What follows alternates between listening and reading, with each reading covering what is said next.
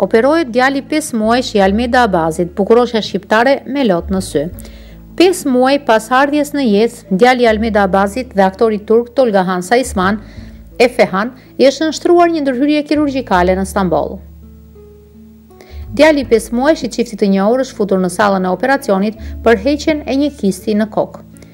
Djalin tim e kapi syri i lig, është shprehur Almeda duke iu referuar faktit që muajt e fundit i biri ishte pjesë e serialit që po xhironte i ati.